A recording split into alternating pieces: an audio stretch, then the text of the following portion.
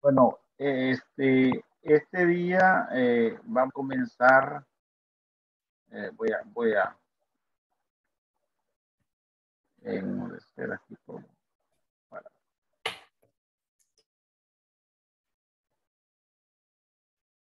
Ya miran mi pantalla, ¿verdad? Sí, se ve, ok.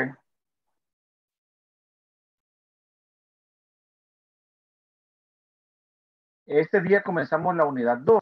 La unidad 2 es bien técnica. Conforme vayan entrando al, al, al, estudio de la unidad 2, se van a dar cuenta que hay un montón de cosas bastante técnicas desde el punto de vista como preparando para el marketing digital y, comienza hablando de una serie de, de, elementos que son importantes conocer, específicamente del, del, del, ambiente web y todo lo que tiene que ver con, con esta onda digital. Pero yo consideré que es bien oportuno que yo, yo puedo entender que hayan personas que conozcan mucho de Internet, que sean técnicos en esto, que ya tengan algún tiempo de estar trabajando en estas cosas, pero hay otros que quizás vamos comenzando y es nuestro primer acercamiento a esto. Por lo que yo, para ampliar los conceptos que tienen allí ya en su plataforma y para quizás haya una mejor comprensión de lo que la plataforma va mencionando, conforme yo iba leyendo, me di cuenta que había unos conceptos que dije, son conceptos algo técnicos, voy a tratar de dar una clase especial solamente de definiciones claves en el lado web y en el marketing digital. ¿Y por qué les hablo de, de, definiciones que son importantes? Bueno, para poder entender todo el concepto. A, veces hay cosas, para, perdón, para poder entender todo el contexto de lo que está, de lo que, de lo que la plataforma está buscando enseñar. Eh, hay cosas que uno las aprende en el camino, pues definitivamente pero hay un, hay un libro muy interesante que se llama Definiciones Importantes o Diccionario Importante, Diccionario del Marketing Digital, algo así se llama. Ahí me acuerdan de darle, de darles el, el libro al final. Que dije yo, vamos a agarrar esto a nivel de, de conceptualización y que, y que la gente, pues, junto conmigo, vayamos aprendiendo algunas cosas claves que aparecen ahí y se ven en, en las documentaciones y, vayan siendo normales para nosotros conforme vayamos entendiendo los conceptos. Entonces, eh, información de marketing digital hay mucho en la web. De hecho, yo les recomiendo que, que nos adentremos a esto posteriormente.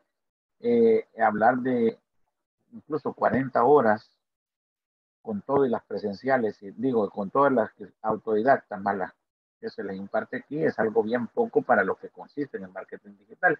Si hay maestrías de dos años, solo en esto. Entonces, eh, la idea de esto es darle esa semillita que nos permita comenzar a trabajar en esto. Pero lo más importante, y yo le decía al grupo anterior que tuve la bendición de compartirles, es que se vayan aplicando las cosas que se van aprendiendo, porque así es como se va, se aprende, pues. Definitivamente en esto del marketing digital, expertos quizás son bien pocos, lo que hacemos la mayoría es que agarramos las estrategias bien genéricas y, acomodamos nuestra propia estrategia y buscamos lo que nos dé resultados en el ámbito en el, que, en el cual nos desempeñamos, sea un negocio B2B, B2C o sea cualquier modelo de negocio, uno va buscando ese, esa salsa que uno le pone a los negocios, ¿no? O a su empresa y que le hace la diferencia y le crea ventajas con respecto a otros competidores. Entonces, consigo toda esa serie de cosas, yo decidí armar una especie de, de, de, ponencia muy sencilla que permitiera darnos una idea clara de conceptos específicos en, esto de, en esta cuestión del marketing digital. Así que vamos a repasar para comenzar de dónde venimos. En la sesión anterior mencionamos que estamos pasando de un marketing eminentemente tradicional, por así decirlo, es decir, en el cual hay un chopper, una persona que compra en un establecimiento real, llamado la mayoría de veces mercado o punto de venta, porque al fin y al cabo, aunque sea el mercado municipal, aunque sea el mercado central o cualquier mercado, y una señora de un canasto, ese es su punto de venta, porque ahí es donde se encuentra presencialmente quien compra y quien ofrece. Entonces, venimos de tener esa concepción tradicional de hacer marketing en un ambiente de mercado tradicional, por así decirlo, ¿verdad? En el cual yo me presento ante ese mercado con un, con un listado de necesidades, gustos y deseos, en el cual el punto de venta o, o el mercado me ofrece y me da la oportunidad de seleccionar lo que yo necesito. ¿verdad? Entonces aquí hay una simple interacción real en el, en el lugar donde se encuentra uno, en la parte real, por así decirlo, material. Pero de eso a lo que está pasando ahorita, donde el chopper no tiene contacto con un punto de venta específico, sino que tiene contacto con una serie de plataformas, la mayoría de veces desde un dispositivo móvil, puede ser una tablet o un celular, lo que estás viendo ya no son productos físicos, sino que estás viendo productos virtuales, aplicaciones, software, pantallas bonitas, eh, fotografías. Entonces, la pregunta es, ¿cómo lleno mi canastita o mi carrito de compras con esa serie de cosas eminentemente virtuales? Bueno, aquí me falta poner algo hacia dónde vamos, ¿verdad? Por lo menos los reportajes que hoy está viendo, los reportajes de, la, de Euronews, canal europeo, de que vamos al siguiente nivel, o sea, el Internet 3.0, donde ya se le llama el metaverso. Ese es otro pila, pero una grabada. El metaverso es la combinación entre lo real y lo virtual. Y uno puede llegar a hacer compras o mandas a tu avatar. ¿Se acuerdan ese, ese, ese esa película, pues uno tiene un avatar y el avatar va a comprar, uno se, se mete en el mercado, pero ya es uno, es como tu, tu presencia ahí en, en, un, en un muñeco llamado avatar en el cual puedes actuar medio real, medio virtual. Entonces estamos hablando de una, otro nivel esto. Y a eso vamos, según parece.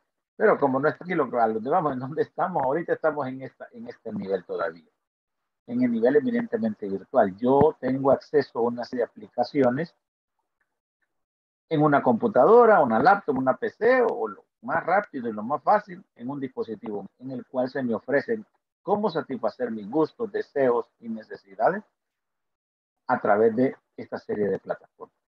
Ahora, hablamos también que para el desarrollo de este marketing tradicional, nosotros teníamos las cuatro variables tácticas del marketing, ¿verdad? que permiten desarrollar una estrategia. Llegar aquí al marketing, voy a, voy a poner el, el punterito, el láser. Llegar acá como tal a un mercado presencial implica tener una estrategia, tener objetivos claros. Y esa estrategia la desarrollo a través del marketing mix o las famosas 4P, un producto conveniente a un precio adecuado, en una, con una promoción o comunicación acertada y en un mercado específico, ¿verdad?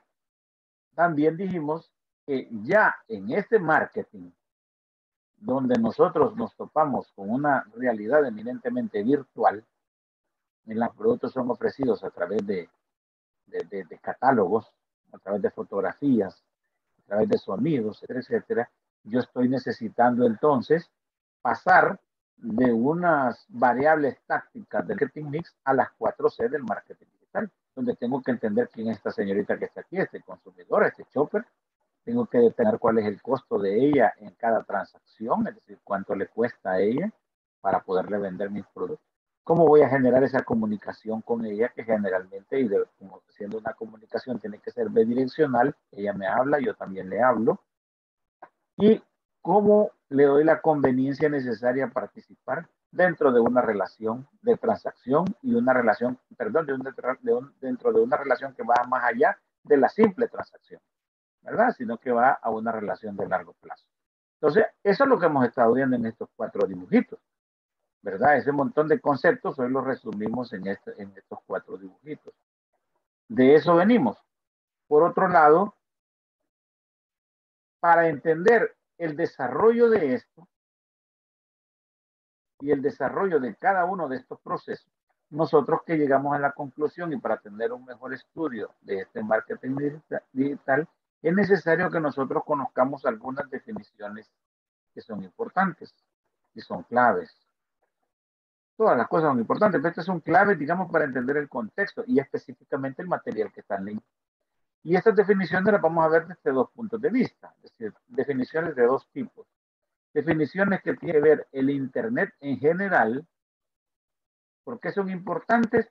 Porque es lógico, el marketing digital se enmarca dentro de Internet y por lo tanto hay que conocer o tener bastante clara de qué se refiere la documentación que leemos, lo que estamos aprendiendo acerca del Internet. Y el otro son definiciones que son aplicadas específicamente al marketing digital, que ya estamos hablando específicamente este Entonces, esta, esta noche vamos a tener este repaso, para unos van a hacer paso para otros este conocimiento, para que a la hora de comenzar a leer la, la plataforma en esta segunda unidad, nosotros vayamos teniendo un poco más aterrizados los contextos sobre lo que se está, sobre lo que se está hablando. ¿Verdad? Así que pasemos a las primeras. ¿Qué definiciones claves para nuestro estudio? No somos técnicos en programación web, pero algunas que por lo menos uno entiende y nos pueden abarcar el Internet en general y nos pueden ayudar a saber de qué se está hablando. Con eso es bastante.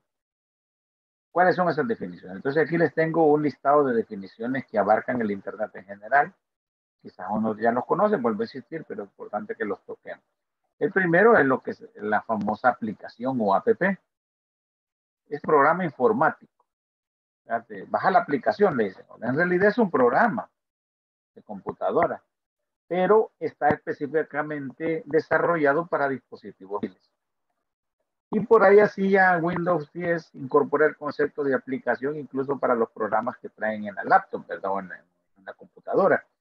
Ya, ya es un programa, antes que decir, necesitas comprar un, un programa, la, la, palabra aplicación ya le da un sentido más de uso, más de un uso específico.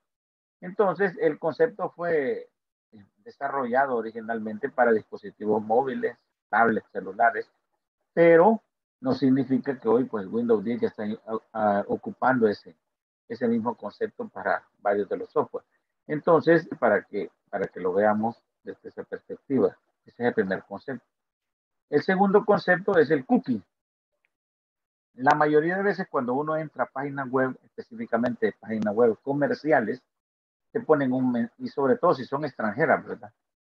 porque aquí en El Salvador todavía no, no, tenemos una ley de privacidad ni de protección de datos personales, todavía no existe. De hecho, esa ley quizás hubiera salido, decían varios analistas, antes que la ley de firma electrónica, que recién se está poniendo, creo que ya está en, en aplicación, se aprobó hace unos tres o cuatro años, creo yo, pero en todo lo que se hacía el reglamento y toda la aplicación parece que recién ahorita está entrando en vigor. Pero eh, generalmente las páginas internacionales comerciales y algunas otras, por ejemplo, los periódicos, ustedes entran a la página web de la BBC, por ejemplo, les pone, porque en Europa es obligatorio eso, les pone el mensaje, nosotros utilizamos cookies, lo acepta o no lo acepta. ¿Qué es un cookie? No me decían por ahí, es una galletita. No, un cookie son pequeños archivos. Esos son pequeños archivitos, unos dicen arañitas, ¿no? Que se instalan en cualquier navegador que tengan. Por ejemplo, ustedes están usando Chrome, ¿no? o eh, Firefox o están utilizando eh, el Explorer o se llama ahora de Windows, eh, cualquier este, navegador que ustedes utilicen y, y, ustedes entran a una página web, la página web les pide, les debería dar permiso de, de, instalar esos famosos cookies. Los cookies son esos, son números y letras en realidad que tienen esos archivos que identifican al navegador del cual se está, se está ingresando a esa página. Ahora, es bien importante que identifiquen al navegador, no al usuario. Y a veces recomiendan los, expertos en ITEVA, todos los tocados ahí de, de, sistema, mirar, borrarle los cookies de vez en cuando porque te pone lento el navegador. Porque cada vez que uno entra a, a, a, estas, a estas páginas web, generalmente comerciales, se instalan en el navegador, pero una, con un propósito. ¿Cuál es el propósito? Y es que estos están enviando información de ida y vuelta entre su computadora donde usted está haciendo su navegador y los sitios que usted está visitando, pero le manda comunicación a la, al servidor donde está instalado la página web de donde le solicitó permiso. Por ejemplo, si yo entré a la página, voy a poner un ejemplo aquí local, bueno, un ejemplo extranjero. Yo entro a la, a la página web de, de, este, de Macy's. You know, Macy's es un, es un famoso, es un, una cadena de almacenes en Estados Unidos muy grande, que tiene su página web y ustedes pueden comprar en línea y toda la onda. Entonces le pide autorización de cookies porque él está rastreando su actividad y, le, y, y está continuamente, pero no desde el punto de vista de, es decir, sino desde el punto de vista de las de los movimientos que usted hace dentro de la página o si está abierta la página y usted hace otra cosa también. Pero hay una característica en esto. Solo puede ser leída y entendida por el sitio web que la creó.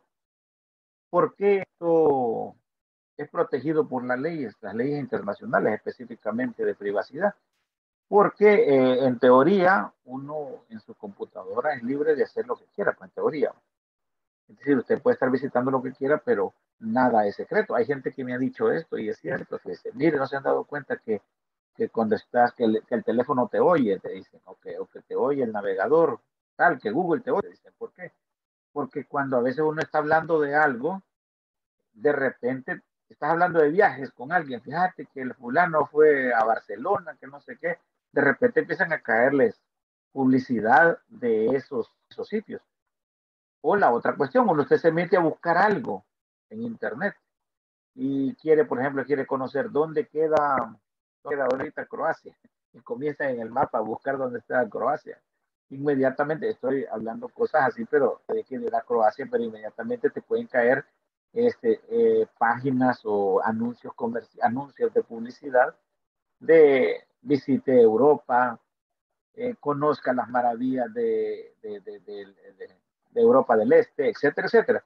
¿Por qué? Porque esos, esos kits envían la información de que usted estuvo en algún momento ahí. Entonces él interpreta que usted está interesado en ese tipo de sitio. Entonces estos cookies son esos pequeños archivos que se instalan en el navegador. Y se instalan cuando usted está conectado con ese servidor específicamente. ¿Verdad? Eh, la, la, la, otra palabra es que aparece también en, en su material y por eso, miren, no vamos en orden de importancia, sino que vamos en orden alfabético. Parece diccionario esto. Es, es, es la expresión, más bien dicho, porque son, son siglas, de CRM. Y por ahí la plataforma creo que habla de, levantar un CRM. En realidad, CRM eh, son las iniciales de Customer Relations Management o su traducción al español es gestión de relaciones con los clientes. ¿De dónde nació el CRM?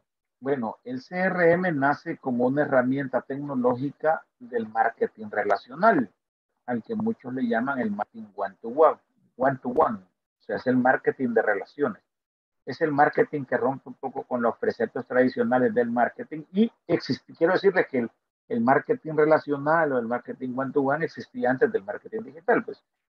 Y quienes mejor aplicaban estos conceptos eran, por ejemplo, las los bancos. La banca la aplicaba mucho con sus famosos tarjetas de cliente frecuente o el, el programa de millajes, porque lo que busca el marketing relacional es la fidelización, más que competir. Ellos, cuando se creó este concepto de marketing relacional, es que salió la idea de, de salió, según estudios, salió aquel principio de que cuesta cinco veces más ganar un cliente nuevo que mantener al que ya tenemos y cuáles son los principios de mantener a un cliente actual y hacerlo subir esa grada de, de consumo con mi marca.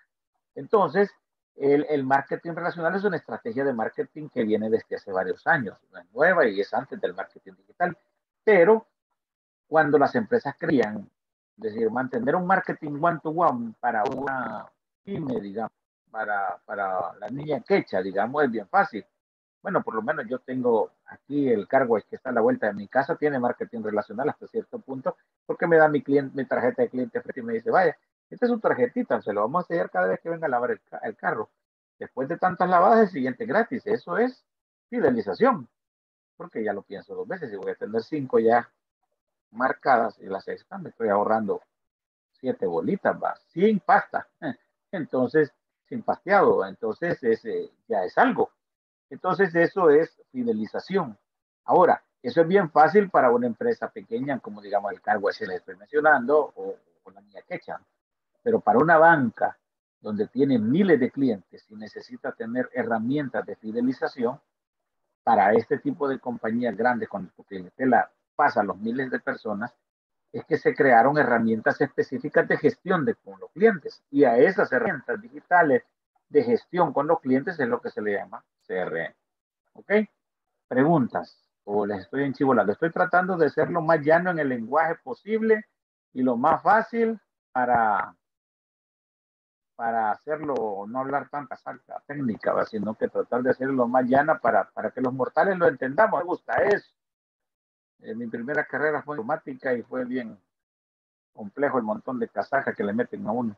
Pero ya es cómo se aterriza esto en la vida real. Ese es el punto.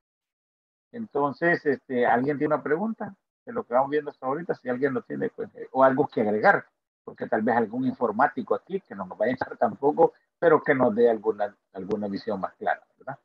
Entonces, eh, ese es el tercer concepto que les quería dar. El otro es el hipervínculo. En inglés, the name is link, you know. O sea, el hipervínculo se le llama link también. Esa es una conexión electrónica básicamente. Es una línea de conexión electrónica que, que, que permite conectar dos sitios web diferentes. Y, y puede estar incrustada en una imagen, en un texto, o en cualquier lugar de la página web. Permítame, voy a tomar agua. Entonces, los hipervínculos permiten esa conexión de, de poder ir de aquí para allá y de allá para acá en, en, la Internet. Entonces, yo puedo estar conectado, por ejemplo, si, soy, si yo soy un periódico y yo quiero que alguien tenga más información acerca de, de un anuncio X, dale clic acá y él me manda otro. Ese clic y ese esa oportunidad de agarrar esa imagen o ese texto para llamar otra página web es lo que se le llama hipervínculo o link también. Entonces, esa conexión entre dos sitios web que está incrustada, ya sea en forma de imagen, de texto o cualquier otra cosa dentro de la página web, es lo que se le llama hipervínculo o link. Siguientes conceptos acerca de las definiciones que abarcan el Internet en general. HTML en realidad, HTML son las iniciales de Hypertext, Markup Language. Esos son códigos que generan, generalmente desarrollan un archivo de texto, o sea, con extensión TXT, o sea, punto .txt en pocas palabras. Permite la forma en que un navegador recupera y muestra una página web. De hecho, HTML es como le llaman los computólogos el lenguaje nativo de, generación de páginas web. Y es el más simple y el más sencillo, y aunque hoy hay otros programas que, que hacen tratadas en las páginas web, la mayoría toma HTML como de base, porque es nativo para poder generar el resto de, de imágenes y todas las cosas que ustedes ven en la web. Entonces, el HTML se podría decir que es el estándar de, de las páginas web, el más estándar y el más nativo, el más básico, sobre el cual se comunican las diferentes páginas y se, no se comunican, sino que se muestran las páginas a un usuario final. Cuando ustedes están viendo una página web, lo que están viendo es un conjunto de códigos atrás. De hecho, si ustedes le dan, me parece que es F5, le dan botón derecho y decir ver el código, a la mayoría de páginas les va a salir un montón de garabatos, textos y cosas así que en realidad la mayoría de veces HTML, aunque hay otros programas también que desarrollan páginas un poco más desarrollados que el HTML. Pero por si ustedes ven por ahí el famoso, eh, esas iniciales HTML, ya sabemos de qué se trata.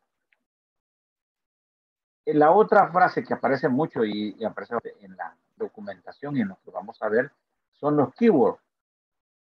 La, la, traducción literal es palabra clave. Pero, ¿qué es un keyword? ¿Qué es una palabra clave?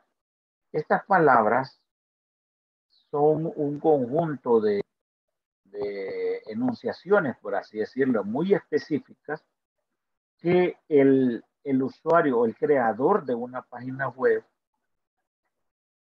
induce en las diferentes páginas para que un motor de búsqueda cualquiera le permita reconocerlo de una forma fácil.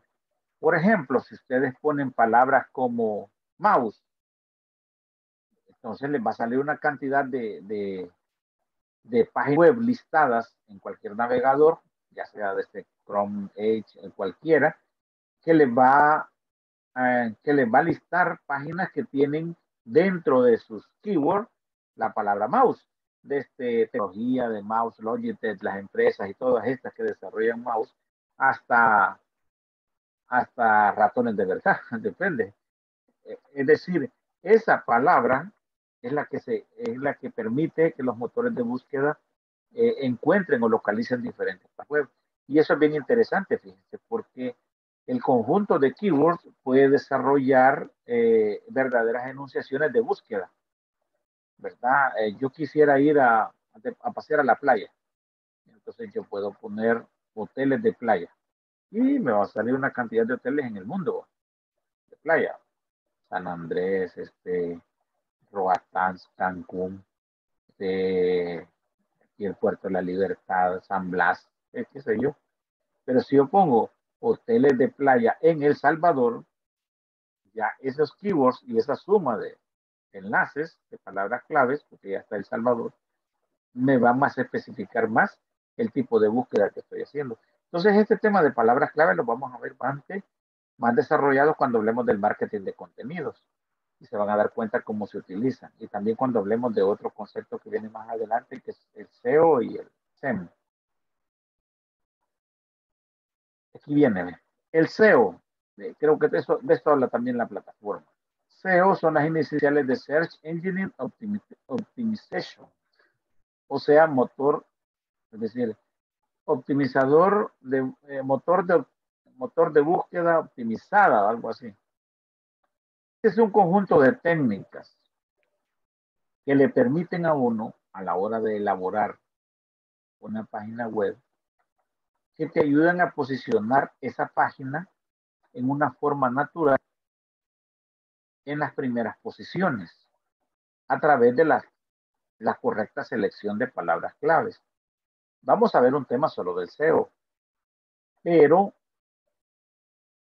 todos los, los motores de búsqueda, todos los buscadores que ustedes conocen, Safari en, en, el, en el Apple, ¿verdad? O en iOS, eh, Windows, tiene Edge, este, Chrome y todos los demás, todos esos necesitan un, un algoritmo, se le llama, o un conjunto de instrucciones que enlazan la búsqueda.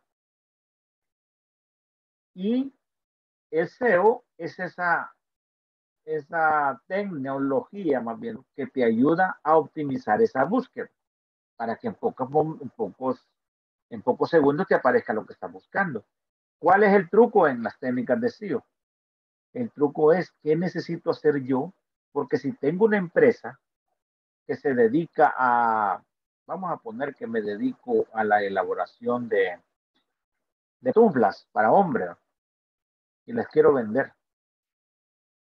Lógicamente lo que quiero es que mi página web, o mi sitio, o mi Facebook, lo que sea, me aparezca en las primeras posiciones de búsqueda porque ya vamos a ver cuando veamos eh, las técnicas SEO específicamente, cómo la posibilidad de venta estadísticamente que tienen las primeras cinco opciones y las que tienen el resto, pues ya se van a dar cuenta, eso lo vamos a ver en otra clase. Pero es importantísimo aprovechar esas técnicas para las y, y qué palabras claves tienen que tomarse en cuenta. Soraya está levantando la manita, puede hablar en este momento. Dígame, Soraya. Hola, buenas noches. Sí, con respecto a esto de SEO. Eh, bueno, yo he buscado y digamos ejemplos, ¿verdad?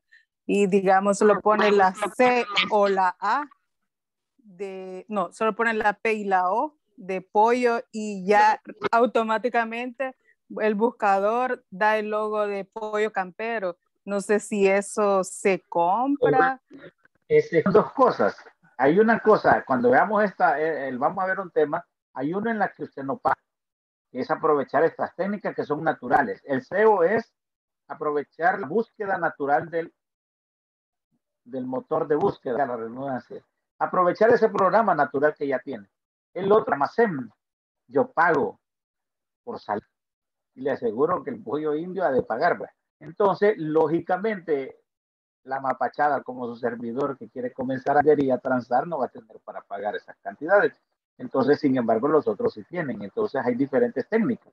El otro, SEM, Search Engine Marketing.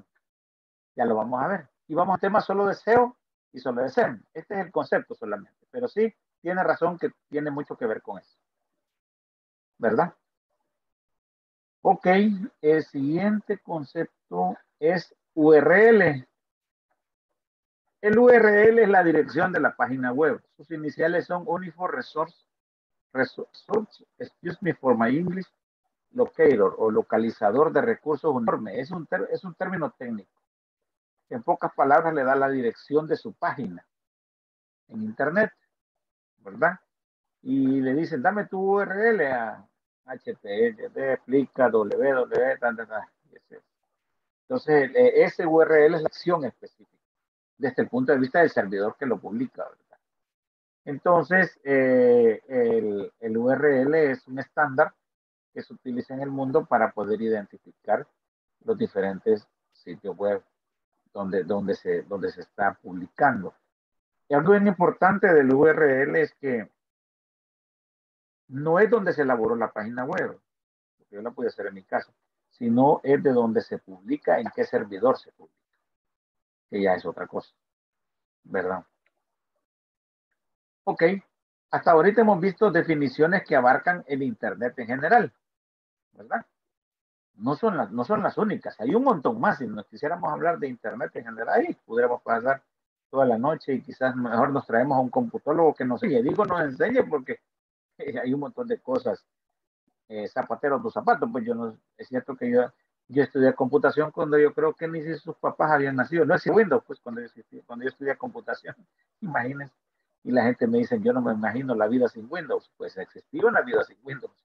Entonces, de hecho, yo estudié computación y ni siquiera Windows estaba. Entonces eran pantallas así oscuras, yo no digo, así aprendí programación hace muchos años. Ni habían nacido ustedes.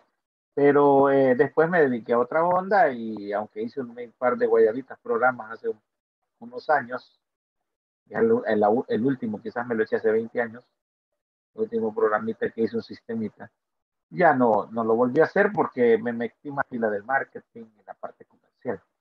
Pero eh, para eso había estudiado, porque después estudié administración de empresas. Entonces, eh, pero sí sirve porque la lógica te ayuda a, poder entender estos conceptos, porque en realidad lo que cambian son las herramientas, son herramientas más rápidas, los conceptos de sistemas siempre se mantienen. Ahora vamos a hablar de aquellas definiciones que aplican al marketing digital, específicamente al marketing digital.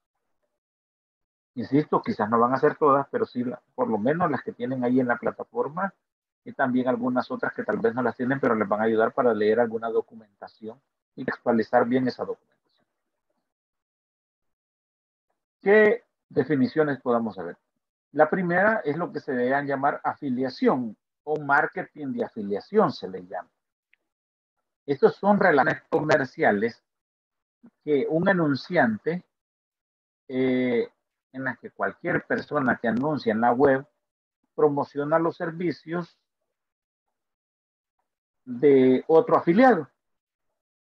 Y el afiliado inserta avisos promocionales eh, en mi página web, claro, definitivamente eso tiene un ruco ruco, pues tiene que ver algo, ¿verdad?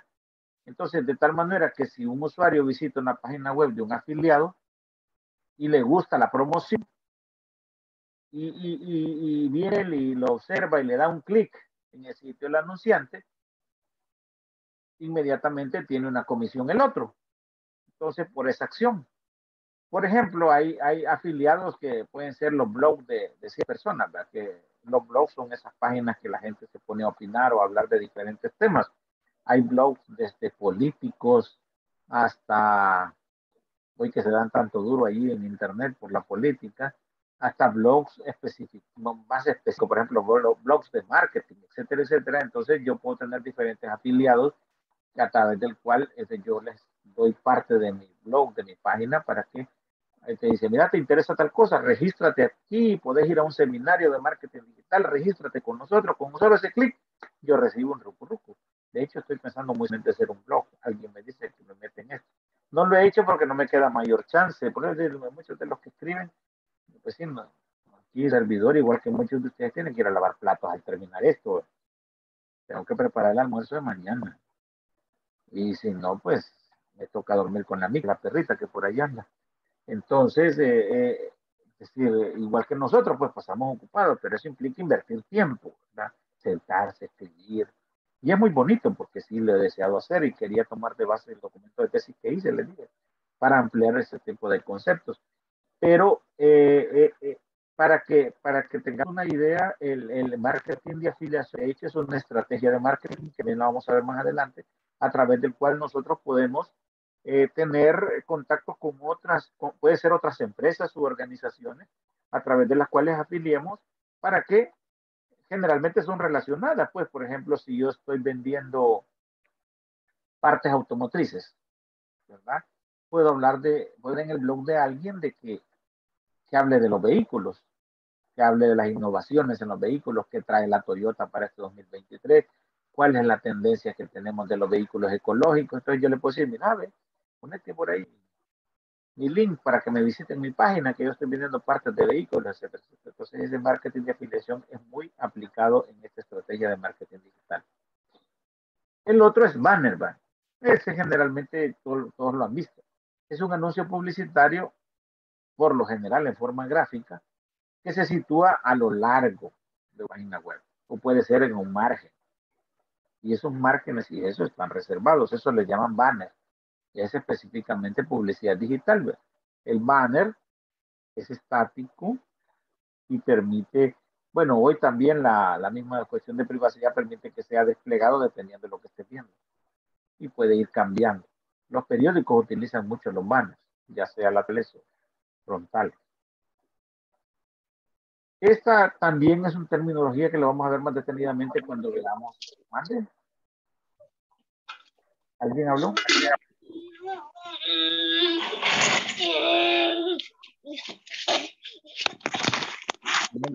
No digo en la cuestión, Erika.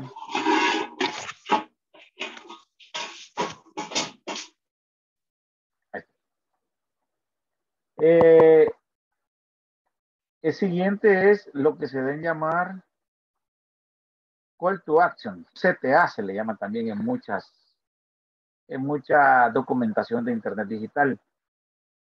Su, traducción literal es llamada una acción, ¿verdad? Es una estrategia de comunicación y específicamente se da en publicidad digital. Y lo que busca es incitar al usuario a realizar una acción. Le clic acá, regístrate aquí, eh, este, visita nuestro sitio web, visita nuestra página fanpage. Este, para más información, regístrate y nosotros te contactamos. Ese, todo eso es un call, to action, call to action o CTA. Son llamadas de acción. También aparece mucho en la terminología de marketing digital y cuando ustedes vean alguna documentación de que quieran ampliar más acerca de publicidad digital. Eh, ok. Seguimos. CPA. Este es un modelo de compra publicitaria. Sus iniciales significan costo por acción. Y, este modelo es uno de los más utilizados porque puede ser eh, eh, costo por clics, costo por... hay, hay tres que se relacionan con CPA. Este, este es un modelo de compra de, en publicidad interactiva. Es, está basado en la realización de una acción definida por el usuario a partir de una acción. Entonces, estas acciones pueden incluir transacciones por venta, captación, de clientes o simplemente un clic. ¿En qué consiste? Bueno, yo hago la negociación con mi, con mi página web, de mi página web con el, los buscadores, o con diferentes eh, herramientas publicitarias, decir, mira, te voy a dar un porcentaje o un número X por tantos clics que llegue la gente a ver mi anuncio y le den clic. Tú vas a tener un costo y, el costo tuyo de tu publicidad va a ser ese. Es un modelo de compra interactiva y es la que más se ha utilizado. También lo vamos a ver más adelante. El otro es el concepto de e-commerce o de comercio electrónico. Este es un modelo de negocio que se hace específicamente en transacciones realizadas a través de Internet. Y eso es bien importante que lo veamos, porque aunque el comercio electrónico tiene en sí mucho de lo anterior, tiene especificaciones de corporación, tiene, eh, tiene herramientas de SEO, tiene herramientas, toda esta serie de herramientas que pueden tener eh, de interacción con el usuario, no necesariamente significa marketing. Yo quiero que, que lo tengamos bien claro, porque yo puedo tener un modelo de negocio e-commerce. Es decir, que el centro de mis transacciones son en Internet. Porque si una parte es en Internet, otra parte es presencial y otra parte puede ser por teléfono, no es un e-commerce puro, sino que se convierte en un multicanal. Es una empresa que diferentes canales de, de venta. Pero no todo el que hace e-commerce, incluso puro, está haciendo marketing digital.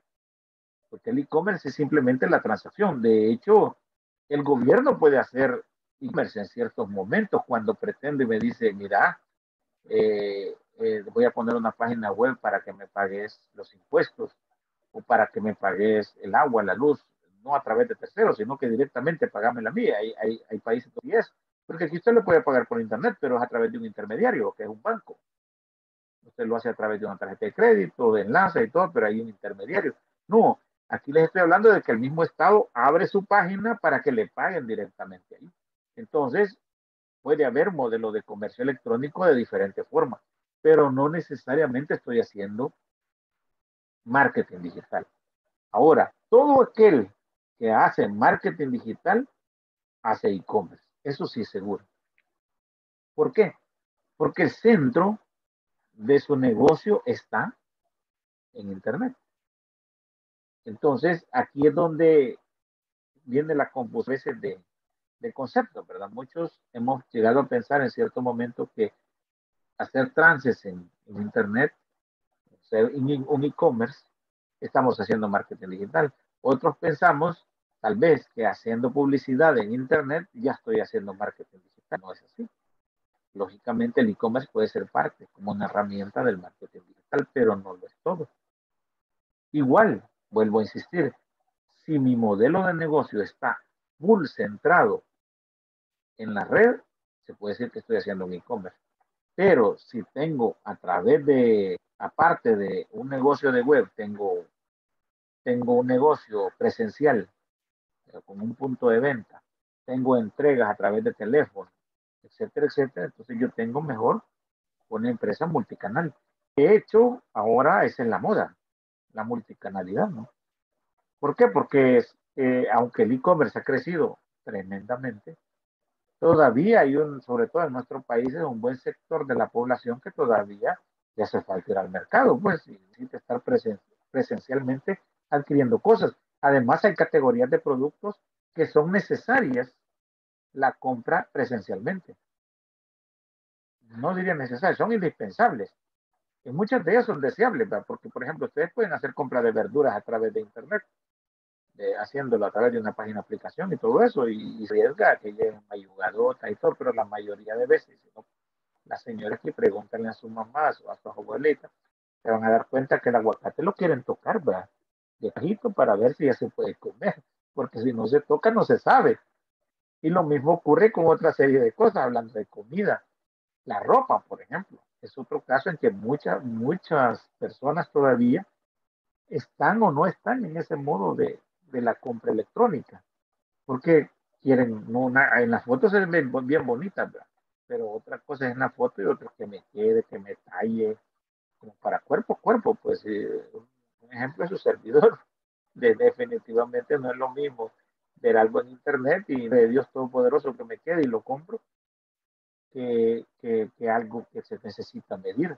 Entonces, mejor pongo una multicanalidad porque hay gente que sí tiene muy, digamos, cuerpos estándar o que tiene esa facilidad de poder adaptar cualquier prenda. Ahora, hay, hay categorías de productos que de por sí se pueden hacer por e-commerce, por ejemplo, estas cosas electrónicas. Estas cuestiones son, eh, y si están garantizadas, si son nuevas y selladas y garantizadas de que lo devuelvo si no, si no sirve, no hay problema. Y ya más o menos conozco las especificaciones técnicas. Igual puede ocurrir con otro tipo de productos más, digamos, más eh, técnicos o incluso con otro tipo o, ciertos servicios que yo puedo contratar vía la web. Pero hay otros que tal vez incluso yo mi respeto con los doctores, pero eso le digo yo personalmente, eh, quizás porque soy el genial, ¿verdad? Pero voy donde el doctor y voy a que me esté puyando y me esté viendo, pues muchos lo están haciendo por videollamada y todo lo demás, pero no es lo mismo. para mí, pues, hay personas que sí, va, lo miran, enseñan, no sé qué, y, tranquilamente se recetan y están felices. Pero ciertos diagnósticos el mismo doctor te dice, no necesito ver. Definitivamente, como un primer acercamiento está bien la videollamada, pero ya cuando la situación es difícil, es mejor el examen presencial. Entonces es igual, pero sí hay categorías de productos que pueden ser fácilmente trasladadas a comercio electrónico. Hay todo vender de la, de la naturaleza del negocio en el que estemos y del tipo de negocio en el que nosotros nos encontramos, del modelo, el modelo de negocio. Un B2B fácilmente se mueve a e-commerce, porque ya se sabe, pues generalmente los negocios B2B, business to business, por ejemplo, Walmart tiene su página de reabastecimiento natural de productos, ¿verdad? Y, y Walmart está conectado con los principales proveedores y están fácilmente midiendo la demanda e inmediatamente reabasteciendo con cierto punto de reorden su centro de distribución. Lo mismo pasa con Selectus. Pero ya se sabe que estamos en un negocio business to business, ¿verdad? de empresa a empresa, y, que, y ya están certificadas las entregas. Aún así, hay cierto riesgo de que la entrega no llegue buena. Pero en medio de todo, quiero dejar claro que no todo el que realiza e-commerce está desarrollando marketing digital, pero sí es necesario que conozcamos el concepto. El otro concepto del cual también vamos a tener un tema solo para él es el, email marketing. El email marketing es la modalidad de desarrollo de una estrategia de marketing a través de correo electrónico.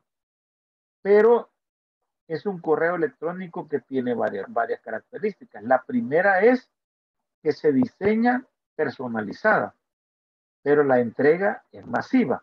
Es decir, la primera característica es que el diseño del, correo electrónico de marketing el email marketing es bien personalizado.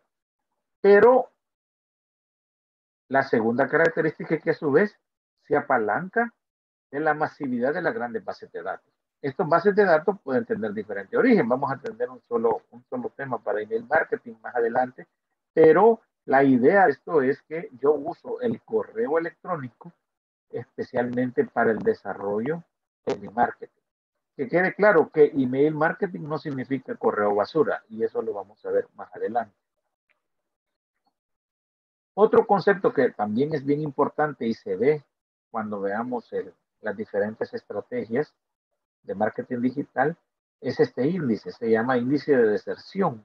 Ese es un indicador o un, es un indicador clave del desempeño de, de mi página web, ¿verdad? Y especialmente se da en comercio electrónico. Y es el porcentaje de visitas que se pierden en las diferentes etapas de un proceso de compra o de navegación. Por ejemplo, yo puedo tener una página web que me, genere una página web en la que estoy vendiendo. Por ejemplo, hoy andaba, supongo que yo estaba buscando hoy eh, hoteles de playa. Volvamos a los hoteles de playa, ya que viene el verano y marzo y hay que ir a la playa. Entonces yo estoy haciendo la búsqueda y estoy por conseguir una habitación en, en el Sunsal Resort, Resort. Yo no sé si existe, pero pónganle que ahí lo quiero ir. Amanecer allá al Sunsal.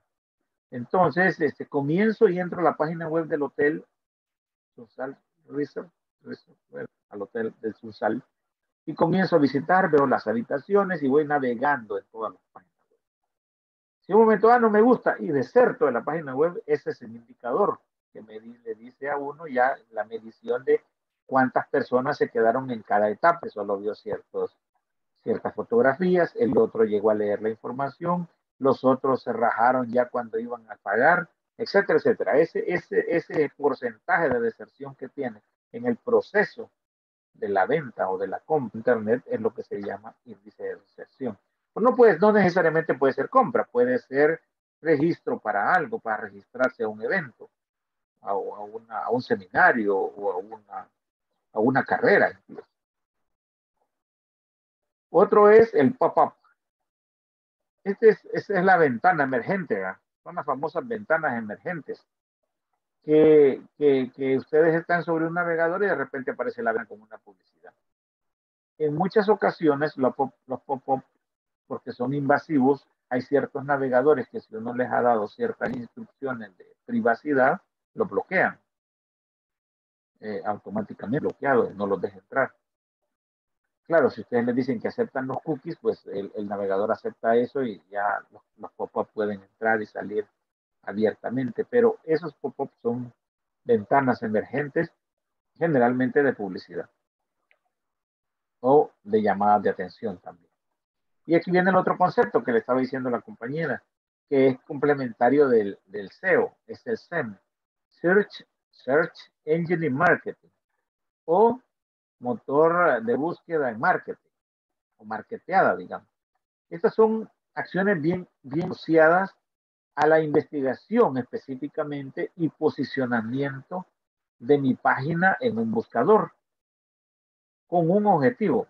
Quiero aparecer en las primeras posiciones en los resultados de búsqueda. Pero esto, el SEM, ya es pagadito, ¿eh? Se paga. Hay diferentes formas de pagar, ¿verdad? Una forma a través del, del CPA, que lo vimos anteriormente, y hay diferentes modalidades. De, la mayoría utiliza un clic por acción para poder pagar ese, ese posicionamiento de mi página web en las primeras posiciones lógicamente aquí se necesita la inversión. Y yo invierto. Es como, es como decir que yo voy a pagar publicidad en, el prime time de, una, de un canal de televisión. Hoy el prime time generalmente se ha movido un poco, pero antes estaba de 8 de la noche a 10 de la noche, me parece. Y por ahí anda ahora, entre donde están los noticieros, donde es más caro. Porque ya nadie ve novelas. Antes las, las horas de las novelas eran las más pagadas. Hoy son los noticieros. Entonces, es igual, aquí yo estoy pagando por las primeras posiciones, o sea, el prime espacio, el espacio más sobresaliente y las primeras posiciones de búsqueda de cualquier búsqueda en Internet. Claro, ahí es donde ya cambia la cosa, porque yo estoy pagando por aparecer en las primeras posiciones. La tasa de conversión es lo contrario a la tasa de deserción. Si la tasa de, de deserción me mide la cantidad de personas o el porcentaje de personas que me dejan en diferentes procesos de, de mi página, esta es una medida de éxito. Respecto a la tasa de clics que llegan. ¿Cuántos de los que le dieron clic a mi página o a, mi, a la opción de venta que tengo se convirtieron en clientes? Entonces, estos dos indicadores, la tasa de conversión y la tasa de deserción, se utilizan mucho para ver la efectividad de la comunicación que estoy dando a la hora de, de, desarrollar un marketing. Entonces, estas son definiciones, ahí terminamos ya, de, marketing que yo espero que les sirvan a ustedes a la hora de estar ahí revisando su, eh, todo el material que hemos estado que, les han presentado y que le están viendo que está bien interesante en la página web. Entonces yo quería que esta, esta segunda unidad la comenzáramos así, ¿verdad? Revisando esa conceptualización para que no les costara también y para que contextualizara. Insisto, muchos de ustedes, varios de ustedes ya son expertos en esto y conocen, no sé si habrá un computólogo acá, pero si la mayoría de nosotros los mortales no lo conocemos, pues la idea es tener una idea más general, ¿verdad? ¿Alguna pregunta? duda, queja o resentimiento. Porque este, ¿qué temas son las de esta, las de esta unidad que vamos a ver? Bueno, vamos a comenzar con las herramientas digitales. Bueno, perdón, esa es el, el examen, las herramientas digitales, el, curso. Pero eh, vamos a ver diferentes temáticas que les van a permitir a ustedes la realización de, de, esta unidad. Entonces, al revisar todo lo que tiene esta unidad, pues yo digo necesario. Ah, comenzamos con las plataformas digitales, en qué consisten, eh, para qué sirve, cuáles son las principales plataformas digitales. Y en muchas de ellas eh, hacen estas palabras. Entonces, al revisar la documentación, se me ocurrió mejor ahondar más en el tema de, de, de las diferentes definiciones. ¿Preguntas? Por ahí van a ver las plataformas All in Alone. ¿Alguien tiene alguna pregunta, estimadísimo? Buenas noches, licenciado. Dígame. Emilia le saluda. Bueno, primeramente agradecer, perdón, primeramente Dígame. agradecerle por, por, la, por los conceptos. Eh, Solo me gustaría que de alguna manera nos fuera orientando en los avances o de los laboratorios que vamos a ir mm, revisando, porque yo tuve la duda del primer módulo y al final creo que no completé el proceso, entonces me gustaría estar mejor informada. Este, de, de, tiene su, voy a, voy a revisar ahorita en esto mismo, voy a revisar porque vamos a ver si cómo quedó. Si lo logró terminar o hay algo que se pueda hacer. Eh, ¿Cuál es su usuario? Aparece con su usuario, me dijo su, Rosa Emilia Córdoba. Sí, terminó, terminó su examen, lo completó con 8.7. Esa es la nota que obtuvo. Digamos no sé del, si... del, del, módulo 1. Del módulo 1, sí. El módulo 2, y solo dos personas o tres la han hecho. Solo dos, creo. Ok. Sí, dos o tres creo que la han hecho, sí. Pero del módulo 1, que ya casi 100% lo ha terminado, usted sacó el 87%, digamos, de nota. 8.7, podríamos decirlo, ¿verdad? Pero sí okay. tiene terminado completado su examen, eso sí. Eh, no hay problema. Okay. Si alguien tiene alguna pregunta de su nota, pues con gusto. Eh, alguien me levantó la mano por ahí, déjeme ver. ¿Quién me levantó la mano?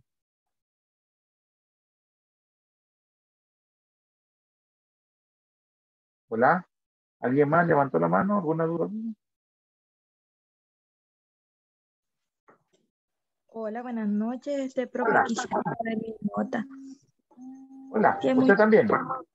Sí. Diga, ¿cómo aparece usted ahí? Como que solo me aparece la cara. no, es... Ajá. Sí. sí. ya lo, ya lo completó. ¿Quiere que le diga la nota ahorita? La nota, sí. llama... Ahora aplastó. No, no aplastó, tuvo 93. En el laboratorio 1. Ajá. 93 le aparece equivale como a un 9. Ajá, ¿sabes? Sí, correcto, si lo vemos así. Ah, muchas gracias. Está bien. Es que tiene una ventaja. A veces les puede dar error al finalizar, pero porque eso me estaban diciendo varios, que hay un error, a veces les da una conexión cuando van cerrando, pero este tiene la cuestión, según me explicaron a mí, de que cada pregunta va quedando guardada. Entonces, sí, porque yo le daba enviar y enviar y no se me enviaba y se me salía de, del formato. La de verdad error de conexión, pero si fue contestando las preguntas y al avanzar en el cuestionario, él va guardando la pregunta que va contestando. O sea. Ah, bueno, muchas gracias. Quien tiene ese tipo de preguntas, este, de, de, dudas, ¿no? Si se le fue o no se fue la cuestión, pregúntenme y aquí revisamos su nota, ¿verdad? ¿Y usted me escribió anoche? No. Sí, sí, yo era. Ah, sí. perdónenme. A las 12 de la noche ahí. No, pero no fue eso. Es que no sé si les conté que tengo este mito del ojo. ¿eh? Entonces me he hecho una pomada que me ha recetado el doctor y viera que me quedo hecho a esa hora porque no pude ver, porque como son pomadas, ¿verdad? Cuando son No, botas, pero uno yo entendía por el horario. No, no, pero no fue por eso. Si yo me acerqué, pero ya no le podía contestar porque no miraba nada. Y si no, me tenía que quitar la pomada. Entonces, pero creo que le, creo que le contesté hoy, ¿verdad? Sí, Sí, sí, muchas gracias. no se preocupe. ¿Alguien más tiene alguna pregunta? Bueno, si no, lo dejamos aquí. Que estén bien, que Dios me los bendiga y los guarde, pórtense bien. No, mañana, primero Dios, mañana vamos a tener otro interesante tema siempre de, tratando de ampliar un poco más eh, los conceptos que ustedes están viendo allí en su plataforma, ¿verdad? Pórtense bien, que Dios me los guarde.